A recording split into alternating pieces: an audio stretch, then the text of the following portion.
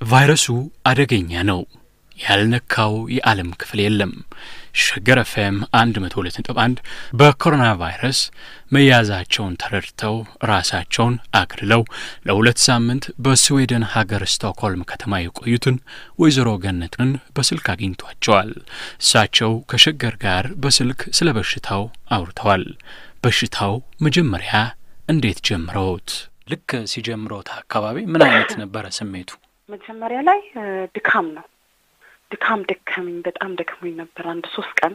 እና ምንድን ነው ይሄ ነገር? ሆስፒታል ሄጄ ነበረ። እና እዛም ሆስፒታል በቃ አናስገባም ብለውኝ በግድ ነው የገባሁት።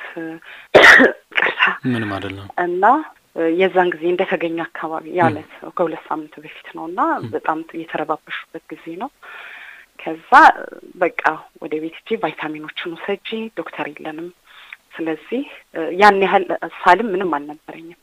ወደ ቤቴ ስመለስ እንደ አርብ ቀን ሄድኩት እንደ ቅዳሜ ቀን ቤት ማታ ላይ በቃ ሳል ይሄ ጉሮሮዬ ደረቀ። በቃ እኔ የምተርፍም አልመሰለኝም። ስለ እውነት ነው፣ ማጋነን አይደለም።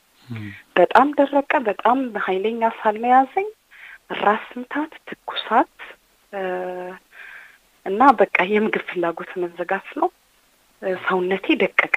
ከምነግርህ በላይ እኔ ለዚህ ቃል የለኝም ለማስረዳት።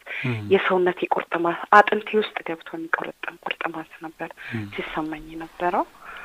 ያ ነው እንግዲህ መጀመሪያ ላይ ስሜቱ ነው። ከታመሙ ምን ያህል ጊዜ ሆነውት? ከታመምኩ እኔም ሁለት ሳምንት ሆኖኛል። ቤት ነው ያለሁት። ሁለት ሳምንት ሙሉ ስራ አልገባሁም። ያው ወደ ሆስፒታል ሄድኩኝ። መጀመሪያ ደወልኩላቸው። ከዛ በኋላ ወደ ሆስፒታል ሄድኩኝ። ቤትሽ ሄደሽ ራስሽን ቴኬር ማድረግ ነው የሚገባሽ አሉኝ። ተመልሼ የመጣሁ ያው ራስ ምታት ነበረኝ፣ በጣም ቁርጥማት ነበረኝ፣ በጣም ያስለኛል። ጉሮሬንም በጣም ታምሜ ነበረ። ሄጅ መጥቼ ወደ ቤቴ ቫይታሚን ሲዎችን ሙቅ ውሃ እና አንቲፔን ብቻ እንድጠቀምና ቤት ውስጥ ለብቻዬን እንደሆን እኔ ነገሩኝ። እንዳሉኝ ተመልሼ በጣም ከባድ ሁኔታ ላይ ነበር።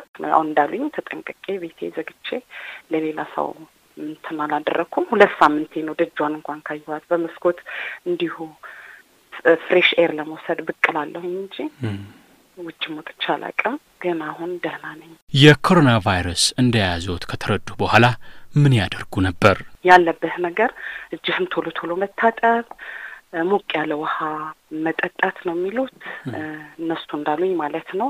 ሳሉን እንትን ለማድረግ ለማስታገስ ራስህን መጠበቅ ነው። ከሰው ጋር ለመነካካት፣ ብዙ ሰው ያለበት ቦታ ላይ ለመውጣት እና በጣም ነው እኔ ሀገሬ ነገር የሚያሳስበኝ በቃ ከህዝቡን ብዛት ካለው ሁኔታ ካለው መቀራረብ አንድ ክፍል ውስጥ ብዙ ሰው ይኖራል። እንደዛ እንደዛ። ስለዚህ ያ ያንን ነገር ጥንቃቄ እንዲደረግ ነው ከእግዚአብሔር ጋር ጠይቀው። እንግዲህ ወይዘሮ ገነት እርስዎ አሁን የዚህ ወረርሽኝ ቫይረሱ አለብኝ ብለው ነው ራስዎትን ያገለሉት? ሐኪሞቹም የነገሩዎት ይሄንን ነው? በጣም ታምሜ ነው የሄድኩት። ስገባ ጠይቃቸው ልዩ ቦታ አላቸው። እዛ ቦታ ተመርቼ ነው reception ጠይቄ ሄድኩት። ከዛ በቃ ወደ ቤት ሂጂ ነው ያሉኝ። ምን አይነት በሽታ አለብሽ አሉኝ። ምንም አይነት በሽታ የለብኝም። ለነገሩ ስኳር እንደዚህ እንደዚህ አሁን እንደዚህ እንደሚያስቀምጡት ማለት ነው የለብኝም። ቤት ሂጅ፣ ቀጥታ ራስሽን ዘግተሽ ተጠንቅቀሽ ትኩስ ትኩስ ነገር ውሰጂ፣ አንቲፔን ውሰጂ በየስድስት ሰዓቱ፣ በጣም ካመመሽ በየአራት ሰዓቱ። በቃ ይሄው ነው ያለን።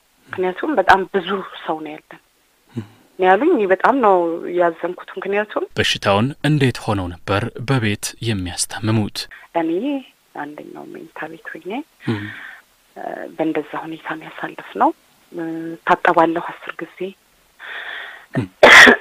እበላለሁ በደንብ ያው የተቻለኝን ያክል ምግብ ምሽ አይልህም። የምግብ ፍላጎት ይዘጋል። የምግብ ፍላጎት ይዘጋል። እበላለሁ ስልህ ያው ሙቅ ሙቅ ነገር ጥሩ ነው ስለሚሉኝ በባህላችን አይነት መሰረት እያደረግኩኝ አጥሚትም ምንም እየተጠቀምኩ ፍሩክትም ያመጡልኛል። ፍራፍሬዎች እበላለሁኝ።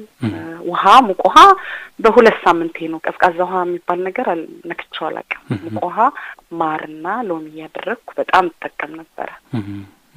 በጣም ያስለኛል። ጉሮሮዬን በጣም ታመምኩ። ራስ ምታት ልፈነዳ፣ ሰውነቴን ቁርጥማት።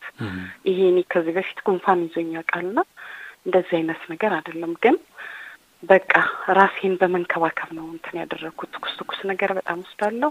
እንደዚህ ብርቱካን ምናምኖቹ like ጉንፋን እንደምትንከባከበው እንደዛ እየተንከባከብኩ ራሴን ቤት ዘግቼ ለሰውም አላስተላለፍኩም። ያው ልጆች አሉኝ፣ family ያለኝ፣ ግን ማንም ሰው አልያዘውም። በርቀት ነው። እዚቹ ምግብ ያቀብሉኛል፣ እበላለሁ። እዛችው መኝታ ቤቴ መስኮቴን ብቻ እየከፈትኩ ትንሽ አናፍሰዋለሁኝ። በጣም ሳል ነበረኝ ራስ ምታት ምናምን፣ አሁን እግዚአብሔር ይመስገን ደህና ነኝ። ያው ትንሽ ትንሽ በመሀል እንደዚች ታስለኝ ካልሆነ ሁለት ሳምንቴ ነው ቤቴ ውስጥ ማለት ነው። መስሪያ ቤትም እንዳትመጪ አሉኝ። በቤት ዘግቼ ቁጭ ብያለሁ ማለት ትደነግጣለህ። ምን ማለት ነው? check አርጉኝና ቢያንስ እንኳን ሊሄድ መሄድ ሄዳለሁ ወደ ቤቴ በጣም ብዙ ሰው ስለነበራቸው በቃ ቤትሽ ሄደሽ ዘግተሽ ቁጭ በይኛል። የመጀመሪያው stage ስለሆነ ነው ማለት ነው እንደዛ ያሉት። እንደዛ ይመስለኛል። እና በስልክ ደውለሽ contact አድርጊን፣ በጣም የሚያስፈልግሽ ነገር ካለ ቤት እንመጣለን። የባሰ ከሆነ ከዚህ ከዚህ የባሰ በጣም የሚያስፈልግሽ ነገር ካለ ከአንቲፔን ውጪ ሌላ መድኃኒት ስለሌለን እዚህም ብትመጪ ከሰው ለማግለል ካልሆነ በስተቀር የሚሰጥሽ መድኃኒት የለም እና መተንፈስ ከጨነቀሽ contact አድርጊን።